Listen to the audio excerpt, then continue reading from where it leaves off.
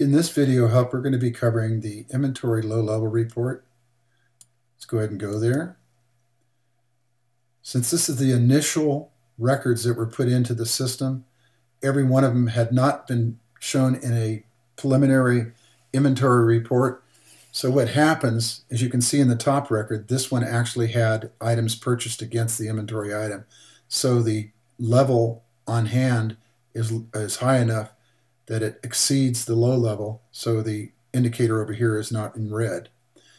Uh, I'm going to kind of jump ahead a little bit to explain that if you're doing inventory, uh, you have to create the inventory before you can actually do any purchasing as far as entering in all the line items or individual line items. So when you go to purchase items, they will be available so that you can purchase them. Now, the reason I did this is I did one purchase record I, in the inventory record, I put a high and low level. And then when I actually did the purchase, I purchased 12 items. And then we invoiced one out so that the current level is 11, but it's still higher than the low level. So it is not in red. Typically, when you come in here and look at this, you'll have all the information with high and low levels, and there'll be purchased items against them. And you'll be able to see the items in red for things that need to be reordered. Now, obviously, what you need to do in this thing is to go ahead and do a do find, go to the store location, put your store location in, and perform the find. This will reduce the list to just the items for your store at the inventory level item level.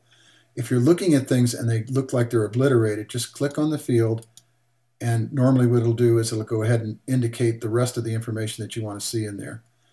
Uh, the store one levels and stuff like that actually can be edited on this screen if you want to add them in here.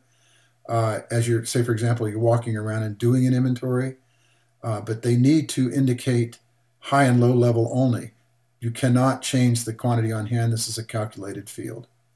If you're looking at a record piece of information and you want to omit the records as you're going down through, if you're doing an inventory, click the omit that particular line and it'll omit the line and as before, this will go ahead and uh, show you the omitted records. And this particular little icon, what this does, it shows and hides the menu bar at the top of the screen.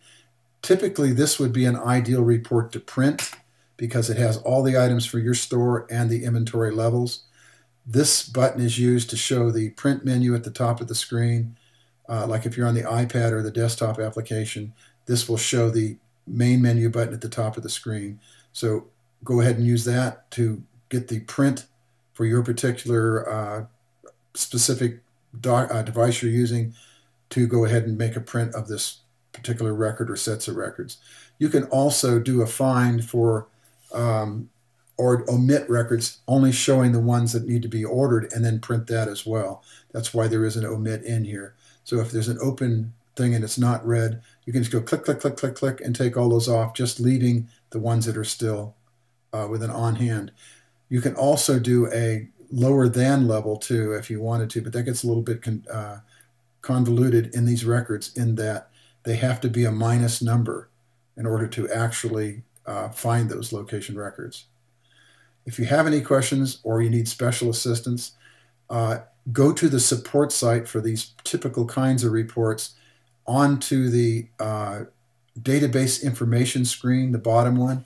And what it does is it gives you additional information on how to use reports with more than what I'm showing here as uh, things you can do within reports. To go back to the inventory system, you click the inventory link, or if you want to go to store location customer, you can use those links over here. As, as usual, you can go back to the main menu, or you can commit and revert the records if you've made changes on them. Uh, the, this only works now, again, in the browser within the server, the cloud server. If you have any questions, contact me by email. Thank you.